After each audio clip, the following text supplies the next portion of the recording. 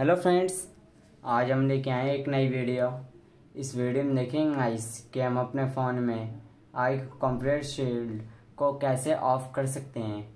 तो वीडियो शुरू करने से पहले आप हमारे चैनल को लाइक और सब्सक्राइब कर दीजिए। तो वीडियो शुरू करते हैं आइस तो हम पहले जाएँगे पहले सेटिंग पर। तो हम अपनी सेटिंग को जैसे ओपन कर लेंगे आइस ठीक है? तो आप देखेंगे जो जैसे सेटिंग है, ये हमारी हो चुकी है ओपन ठीक है जैसे यहाँ लिखा है डिस्प्ले तो इसे हम ओपन करेंगे गाइस ठीक है?